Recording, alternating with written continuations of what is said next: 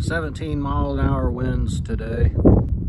I've had this on here a couple of weeks now. Had no issues with it. It stays on really well. Pretty happy with it. Seems to breathe well.